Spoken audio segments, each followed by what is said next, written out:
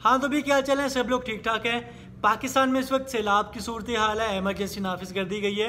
और पाकिस्तान के जो रेस्क्यू इदारे हैं rescue one one two two वो पाकिस्तानी अवाम के बेलोस होकर बगैर किसी लालच के पाकिस्तानी अवाम की खिदमत कर रहे हैं। सैलाब ज़दा इलाकों से लोगों को इवैक्यूएट कर रहे हैं, लोगों की जानें बचा रहे हैं, जानवरों को बचा रहे हैं, लोगों को जो अपने घरों में जानवर पाले होते हैं, उनको भी बचा रहे हैं। और जो कि पालतू जानवर को रास्ते में मिल भी जाता है तो उसे भी बचा रहे हैं। यार, इन लोगों को सैल्यूट है मेरी तरफ़ से। हम पूरी कौम को, पूरे पाकिस्तानियों को, हमको इनके शाना बशाना खड़ा होना पड़ेगा।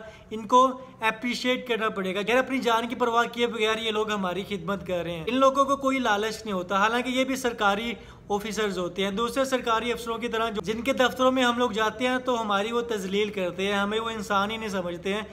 At least rescue one one two two एक ऐसा इदारा है जो हम लोगों को इंसान समझता है। हम लोगों को इंसानों वाले हकूक देता है, इंसानों की तरह हमें ट्रीट करता है। कोई भी कुदरती आफत हो, लोगों को परेशानियाँ हो, या रोड पे कोई एक्सीडेंट हो जाए तो यार ये लोग बेलोस होकर बगैर किसी लालच के फ़ौरन पहुँचते हैं। हमारी एक कॉल जाती है और ये लोग दो मिनट में, पाँच मिनट में जितना जल्दी हो सके ये लोग हमारी मदद के लिए पहुँचते हैं। ये लोग कभी हम पर अपना हक नहीं जतलाते हैं। ना कभी टेढ़ी आँख से देखते हैं, ना लोगों को झिड़कते हैं और ना कोई कभी एहसान जतलाते हैं कि यार मैंने तेरी जान बचाई है तो मेरा बड़ा एहसान है। नहीं, कभी इस तरह नहीं करते हैं, ना कभी रिश्वत लेते हैं। यार, सभी पाकिस्तान के जितने भी अदारे हैं, सब में रिश्वत आम है। अगर ये वाहिद इदारा है जहाँ रिश्वत नहीं चलती है, ये लोग हम पर अपना एहसान नहीं जतलाते हैं, पाकिस्तानी हुकूमत और दूसरे शाही अफसरान।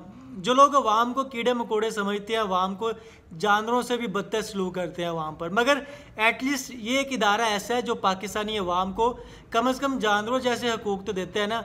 जानवरों की भी हिफाजत करते हैं, उनको भी रेस्क्यू करते हैं और अवाम को भी रेस्क्यू करता है। अवाम को जानवरों से अच्छा सलूक देते हैं ये लोग। ये कभी भी पाकिस्तानी अवाम को कोई कीड़े मकोड़े नहीं समझते हैं।